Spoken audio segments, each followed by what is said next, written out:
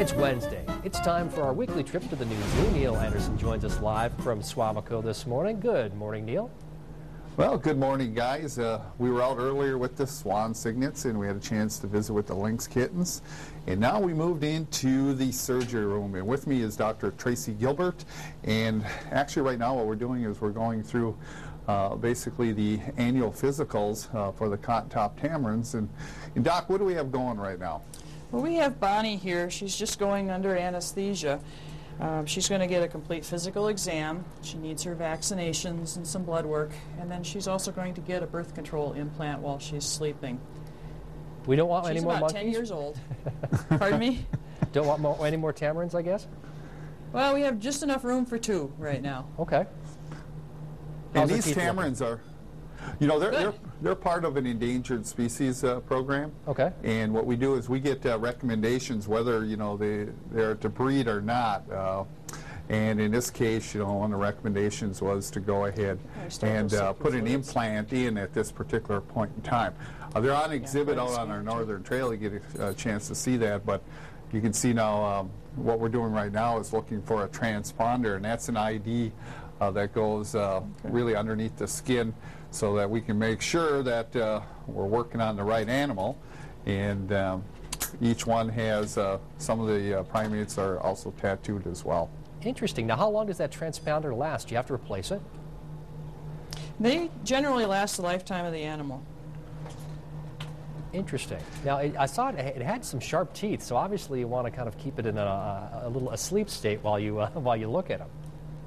It's, it's better for us, but it's also better for her. These animals are stressed by being handled, and so we try to minimize that, and the, the sedatives sort of help them relax through the whole procedure, sort of like when we go in for routine procedures. So, uh, how's this tamarin looking? She looks very good for a little 10-year-old girl. Her hair coat's in good shape. Her weight is good. Her teeth look pretty good. These guys are prone to dental problems, just like we are, because they don't tend to brush and floss their teeth the way they should. And but being her 10 color years is old, good. being 10 years old, is, is that old for a tamarin? No, that's not terribly old for a tamarin. She's probably in early middle age. Early middle. How long can they usually average uh, lifespan in, in cap- captivity? We're about 25. Oh, okay. Yeah, about 25. Uh, like I said, they're native uh, to Colombia, and there's only about, oh, roughly about 1,800 uh, from a population standpoint in the world.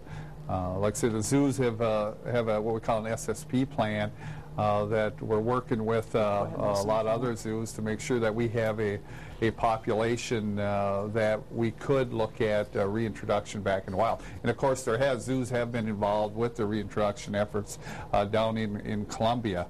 Uh, our particular pair that we have um, basically are here for educational display. And it's a great opportunity for our visitors to be able to, to see, you know, this, this small endangered uh, primate, the New World primate, and also to learn a little bit about the conservation efforts as well. And of course, uh, like I say, right now, uh, every year we go through uh, an annual uh, checkup with these guys, and they also get, then doc, they also get TB tested. Is that correct? Usually they get TB tested, and she's actually going to be ultrasounded as well while she's sleeping. Make sure the innards are all good too. Well, thank you, Tammy and Neil, for joining us. We really appreciate that. And uh, I assume, Neil, that uh, the tamarin will be up and uh, about uh, fairly soon after the anesthesia wears off?